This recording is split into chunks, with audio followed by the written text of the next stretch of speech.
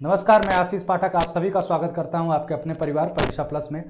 काफ़ी देर से बच्चे जो हैं, कई बार फ़ोन करके, मैसेज करके बच्चे बोल रहे थे कि, सर, एक बार आप जो है वीडियो बना दीजिए कि हम लोग लखनऊ जा रहे हैं छः तारीख को, ताकि एक, क्योंकि आपको ही फॉलो करते हैं बच्चे, आपको सुनेंगे, कुछ बच्चों को नहीं पता रहता है, किसी ग्रुप में नहीं जुड़े होते हैं तो ताकि उनको ये पता चल जाए कि छः तारीख को जो बच्चे जा रहे हैं, किस मकसद से जा रहे हैं इससे पहले भी मैंने एक वीडियो बनाया था और बच्चों ने ही जैसा कहा था, आपने कहा था कि, सर, हम मंडे को आ रहे हैं। हमने कोई डेट नहीं अनाउंस किया था।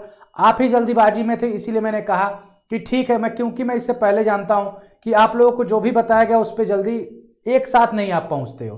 तो मंडे में भी यही हुआ कि 96 के 100 के अप्रॉक्स जो है, आपके स्टेनो के बच्चे कुछ करेक्शंस को लेकर पहुँचे थे, लेकिन जो थर्ड लिस्ट की मांग के लिए बच्चे पहुँचे थे, उनकी संख्या बल कम थी।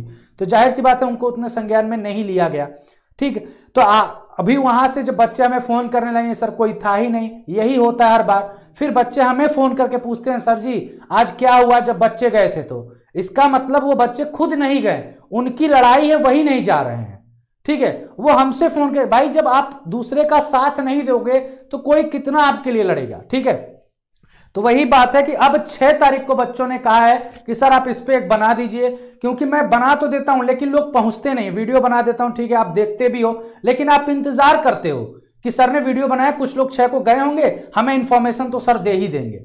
ये मानसिकता आपकी हो जाती है। तो जो छह को जा रहे हैं, शायद दो कैटेगरी में बच्चे जा रहे हैं, दो चीज़ें मांग है उनकी। इसी पर पिछले बार भी मंडे में बच्चों ने गया था तो उसको डीजी सर ने जो भी था उनका एप्लीकेशन लिख लिया था सबमिट करके सबमिट करा दिया था। वो करने को जब टाइपिंग टेस्ट भी हुआ था तो इतनी गड़बड़ी हुई थी, वो भी ये सब किए थे। लेकिन क्या वो कार्य करते हैं उस पर कि नहीं करते हैं, वो कुछ भी हंड्रेड परसेंट नहीं कहा जा सकता। है उस पर यही हो सकता है कि जितनी बार बार आप जाओगे, आपको सिलेक्शन लेना है, ठीक है? आपके ही बार बार जाने से और जितनी संख्या बल होगी, तभी जाके उन पर उन पर इंपैक्ट पड़ेगा।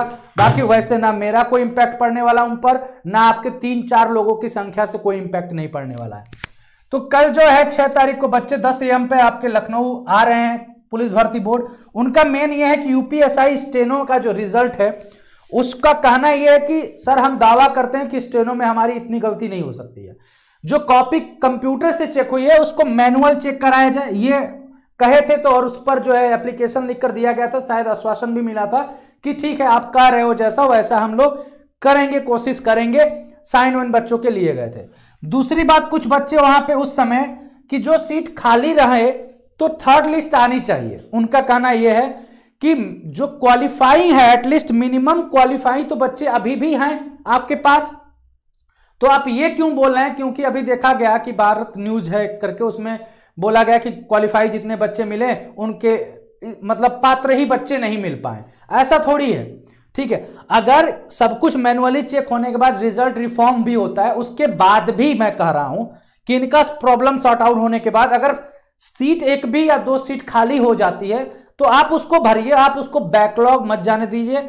इससे पहले आपने हमारे साथ ऐसा कहा था। अगर आप बातों से मुकर रहे हैं तो ज़ाहिर सी बात है कि फिर कुछ भी सुना नहीं जा सकता, तभी ये तानाशाह होगा और कुछ नहीं कहा जा सकता। इसके बारे में ना उसके लिए हम कुछ कर सकते हैं, ना बच्चे भी परेशान हो जाएँगे ठंडियों में। और अगर थोड़ा सा भी उनके अंदर ये होगा कि नहीं, ये चीज़ें हम खुद गलत कर रहे हैं कि हमारे पास मिनिमम क्वालिफाइंग स्टूडेंट तो है ही है, उनको हम बुला सकते हैं। तो इस पे के बारे में भी आप लगातार दौड़ते रहिए, क्योंकि अब फिर से वो फेस करोगे, अगर ये बैकलॉग में चली गई कि फिर फॉर्म आएगा, कब आएगा एग्ज़ाम होगा टाइपिंग होगा स्टेनो होगा तो बहुत लंबा प्रोसेस है। तब तक काइंड कितने ओवर एज हो जाओगे? लेकिन जब इस स्टेज पे हो तो जितनी मेहनत हो सके कर लो भाई। ये आपकी नौकरी आपके सिलेक्शन के लिए है, ठीक है? तो ये जो चीज़ें हैं, छह तारीख को आप सभी लोग, जितने लोग भी हो, कितने भी दूर से हो, पहुंचो, बस के माध्यम से, गाड़ी बुक करके पहुंचो, जो भी माध्यम हो। आप पहुंचो, क्योंकि आपकी ही बात वहाँ सुनी जाती है। हम लोगों को कोई नहीं सुनता है कोचिंग वालों को कोई नहीं जाने दिया जाता है। बच्चे ही जाके बात कर सकते हैं और कोई नहीं। तो आपके पास मैटर है ही है कि बात क्या करना है। चलो, दूसरी बात यह है कि आपके जो अभी मैंने कहा भारत न्यूज़ वालों में, जैसे आपने कहा कि यहाँ पे डीसी ने बता दिया ऐसे ऐसे चीज़ें हैं, हमने इतना इतना वैकेंसी किया फुलफिल किया।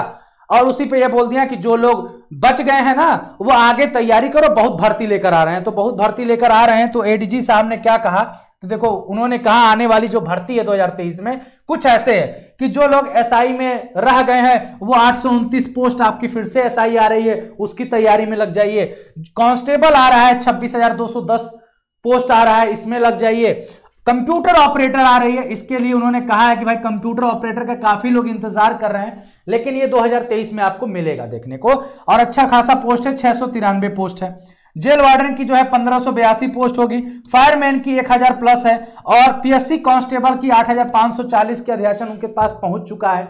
तो इतने उन्होंने वैकेंसी बताई है। और फिर से एसआई और एएसआई की वैकेंसी की भी बारे में बात किया गया है कि दो जो चल रहा था, ये भी चांसेस हैं 2023 में ही आपको देखने को मिले। तो इतनी वैकेंसियाँ हैं, काफ़ी वैकेंसियाँ हैं। लेकिन क्या मतलब कि जब आप ओवर एज हो जाओ, ठीक है? हाँ उसके कुछ कंसेशन दे, लेकिन हाँ लास्ट टर्म तक जितना भी हो सके कि आपको लगे कि सीट खाली जा रही है तो उसके लिए लड़ो। मैं यही कहूँगा, इसके अलावा और कुछ नहीं। और ये लड़ाई आपकी है, बच्चों।